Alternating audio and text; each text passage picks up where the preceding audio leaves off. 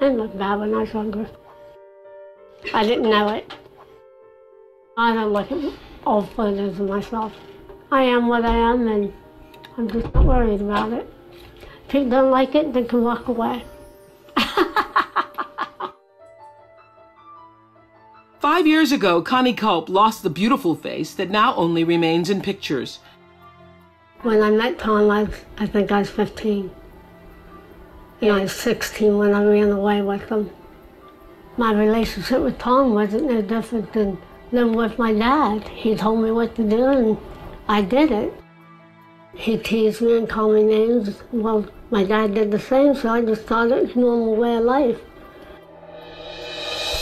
Connie says after years of verbal abuse, she'd had enough and started standing up to Tom. He would push me and stuff, and people would say, and I'd get up and I'd say, I'm a good person, I don't deserve that.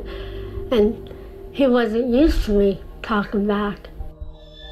It was September 21st, 2004, when Tom walked in, walked upstairs. and shot me. In a fit of rage, Tom raised a 20 gauge shotgun, pulled the trigger, and shot Connie in the face. He then turned the gun on himself. With most of her face obliterated, Connie somehow managed to walk downstairs and find her twin sister Bonnie. When I seen Connie shot, I, I, freaked, I freaked. I ran. I ran away. And I don't, I was, I didn't know what to do. Frantically, Bonnie called Connie's daughter, Alicia. She said, you know, he shot her, he shot her. And I immediately known that she must have met my dad, shot my mom. Uh, I wasn't really even surprised. I mean, I was, I just kind of just always knew that he, you know, he could really hurt somebody. I, I knew he had the potential. I just didn't really think that it would be my mom. I lost my sense of smell. I lost my eye, my nose my jaw. They had the wire shut. I didn't lose any teeth during the shooting, but the top of my mouth deteriorated, so I lost my whole top row.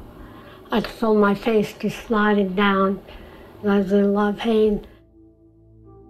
Over the next five years, Connie endured 30 surgeries as doctors attempted to reconstruct her face. But when she was still unable to breathe on her own, to smell, and to eat solid foods, her medical team decided they needed to do something groundbreaking. So here's what they did. Last December, Connie Culp made history when she received the first face transplant in America at the Cleveland Clinic. It is also the most extensive face transplant ever done in the world. Please welcome Connie Culp.